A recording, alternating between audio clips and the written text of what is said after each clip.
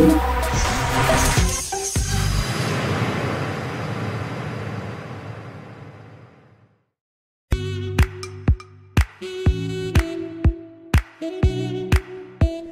time, ang ituturo ko naman sa inyo ay yung basic operations ng uh, data structure like um, search, uh, insert, update, and uh, delete. So, isa-isahin natin siya.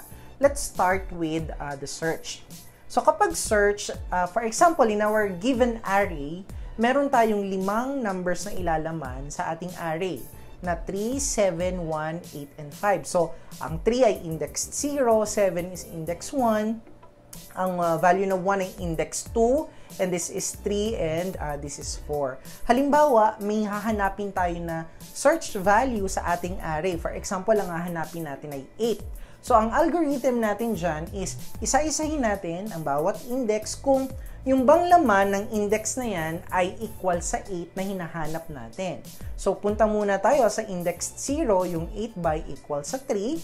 So, hindi, mag-proceed tayo sa next index. Sa index 1, 8 by equal sa 7, so hindi rin. Next is, punta tayo sa index 0, 1, 2. So, hindi rin siya equal. And then, 0, 1, 2, 3, pagpunta natin dito, nag-equal siya. Ibig sabihin, may number 8 sa laman ng ating array. So, ibig sabihin, nahanap natin yung value na 8 sa laman ng ating array. And then, magpo-proceed tayo hanggang sa matapos natin yung uh, bawat indexes natin sa ating arrays. But since ito ay hindi naman equal sa 5, uh, still, nakita natin na merong number 8 sa ating array. This time, i-implement natin siya sa C++ source code. So, uh, ang gagawin natin is uh, gamit ulit tayo ng uh, for loop statement para mag-accept ng limang number sa user and then ilalagay natin siya sa array. In our code, nag-declare ako dito ng A na as array na maglalaman ng 5 integers, kaya meron tayong int A5. And then nag-declare din ako ng variable i para sa indexes natin. And then, meron tayong search number na variable para uh, yun yung i-specify ng user kung ano ba yung number na hinahanap sa, ari, sa ating array.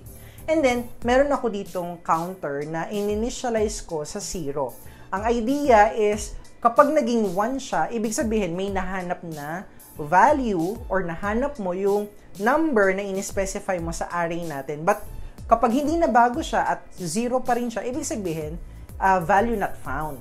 So, uh, sa first for loop statement natin, magluloop tayo ng limang beses at mag accept tayo ng uh, value from the user. Kaya meron tayo ditong enter the value at index uh, since magluloop tayo. So, 0, 1, 2, 3, and 4. So, meron tayong limang uh, numbers na or integer na i-input. Kaya meron tayo ditong zin, a, i. And after natin makapag-input ng 5 numbers, ay i-enter naman natin kung ano ba yung number na hahanapin mo doon sa uh, mga values mo sa iyong array. So, meron tayo ditong variable search, no, para doon sa hahanaping number.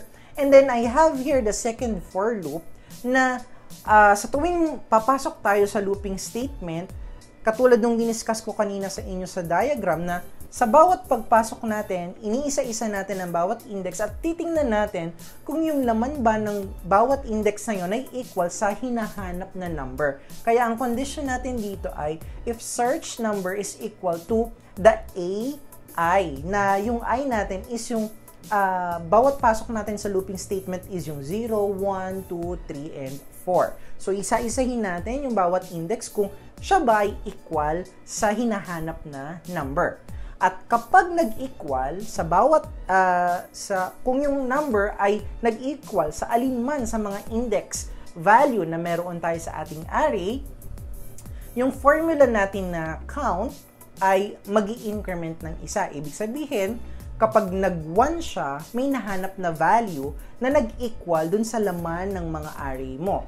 So, nakita na natin at nahanap yung number na in-specify mo. And then, yung uh, pag natapos natin ng looping statement, maipapakita natin na search value is found in index, sasabihin niya kung saan ba na container nakita yung number na hinahanap mo. And then kung wala namang nahanap, uh, yung uh, ating uh, looping statement, wala doon sa mga values ng indexes natin, meron tayong condition dito na kapag yung count is 0, i-display naman natin is value not found. Okay? So, uh, tingnan natin kung paano magraran at ano ang display nito sa C++. Tingnan natin tong video na to.